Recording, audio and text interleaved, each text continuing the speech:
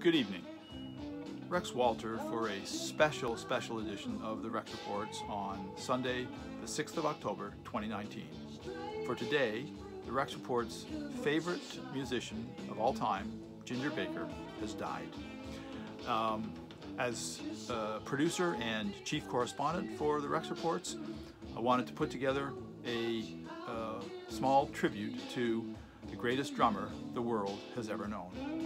Um, in, the, in the background, you will probably recognize Strange Brew from uh, the supergroup Cream, Jack Bruce, Eric Clapton, and Ginger Baker. I'm quickly going to run through a chronology of uh, the albums Ginger Baker was involved with, and then show you a couple of other uh, items of interest.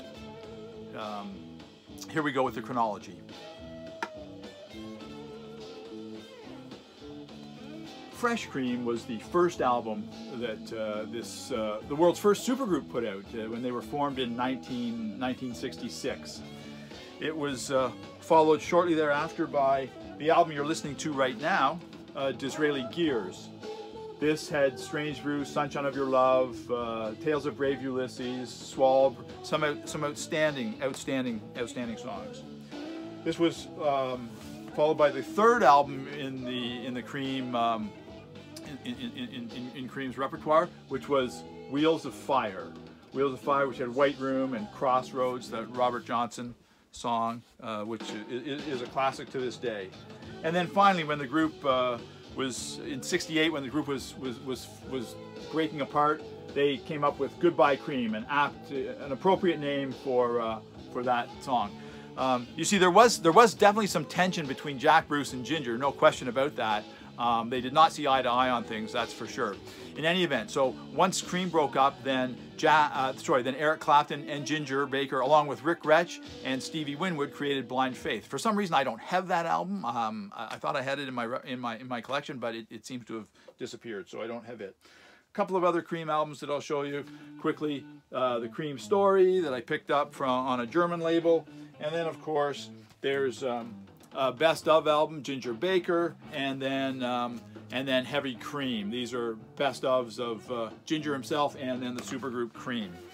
Um, after Blind Faith, uh, Ginger created the Air Force, Ginger Baker's Air Force. I picked this up in a delete bin somewhere. This is Ginger Baker's Air Force 2, um, which has got some some classic stuff. We was getting into the African African things.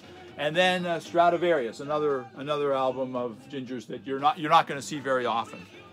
Um, then Mr. Mr. Tim will recall this. Um, uh, Ginger then connected with Adrian Gurvitz and his brother. Um, can't remember who, his name, but for the Baker Gurvitz Army, there's one album, and then they also uh, produced Hearts of Fire, album number two from the Baker Gurvitz Army, and then to wrap up my collection of vinyl, of Ginger Baker vinyl, I've got something called Ginger Baker and Friends, uh, which say, it does say demonstration sale, demonstration copy not for sale. I'm not sure how, how I got my hands on it, but I did. And this has got uh, Pampero on it, which is an outstanding song. A couple of other things of interest that uh, for, for Rex Report viewers related to Ginger his autobiography, Hellraiser, an unbelievable read, and it, it, it, it's one I highly recommend. I recommended it to WME on his 60th birthday, and I'm not sure if he's read it yet, but I certainly recommended it to him. And then finally, to show that the Rex Reports do have an archive, you've got to check this out. This is a, this is a ticket stub from the El Mocambo when I went there in 1983 with uh, Billy Booth. Yes, JGB and I went to see Ginger Baker for $11 at the El Combo. It was quite a night. I, he, he smoked a cigarette and, and the, the ash was about, I swear to God, the ash had to be four inches long and he was playing and laughing and just having a great time. In any event, um, a, a, small tribute to Ginger as we fade to black. You'll hear the, uh, the incredible tune, uh, Sunshine of Your Love, in the background. Uh, Rex Walter for the Rex Report, signing off for now. Ginger, rest in peace.